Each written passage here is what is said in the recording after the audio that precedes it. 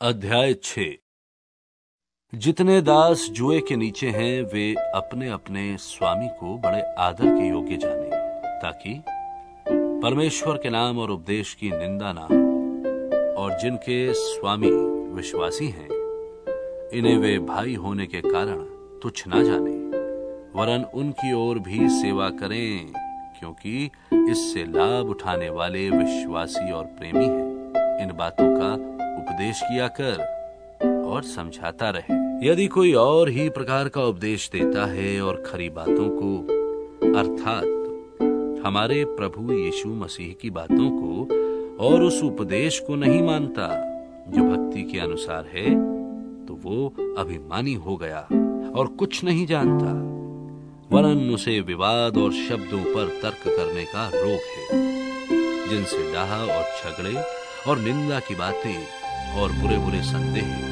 और उन मनुष्यों में व्यर्थ रगड़े, झगड़े उत्पन्न होते हैं, जिनकी बुद्धि बिगड़ गई है। और वे सत्य से विहीन हो गए हैं। जो समझते हैं कि भक्ति कमाई का द्वार है, पर संतोष सहित भक्ति बड़ी कमाई क्योंकि ना हम जगत में कुछ लाए हैं और ना कुछ ले जा सकते हैं। और यदि हमारे पास खाने और पहनने को हो तो इन्हीं पर संतोष करना चाहिए। पर जो धनी होना चाहते हैं, वे ऐसी परीक्षा और फंदे और बहुतेरे व्यर्थ और हानिकारक लालसाओं में फंसते हैं, जो मनुष्यों को बिगाड़ देती है और विनाश के समुद्र में डुबा देती है। क्योंकि रुपए का लोभ सब प्रकार की बुराइयों की जड़ है, जिसे प्राप्त करने का प्रयत्न करते हुए कितनों ने विश्वास से भटक कर अपने आप को नाना प्रकार के दुखों से छलनी बना लिया है।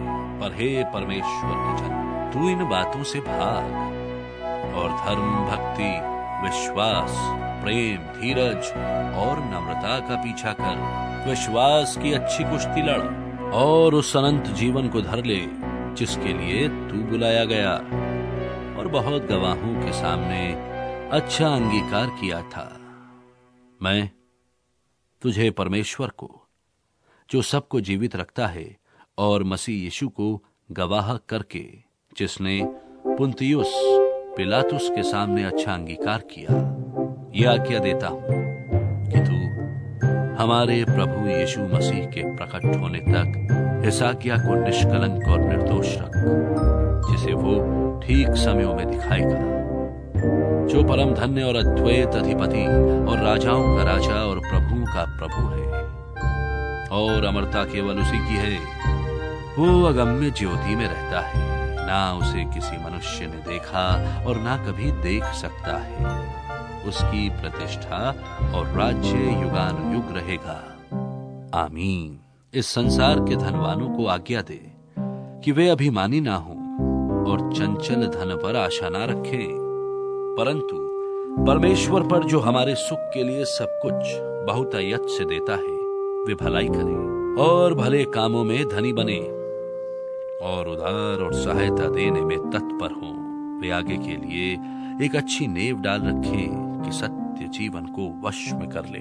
हे तीमुथियुस, इस धाति की रखवाली कर और जिस ज्ञान को ज्ञान कहना ही भूल है, उसके अशुद्ध बकवाद और विरोध की बातों से परे रहे। कितने इस ज्ञान का अंगीकार करके विश्वास से भटक गए हैं। तुम पर अनुग्रह होता रहे।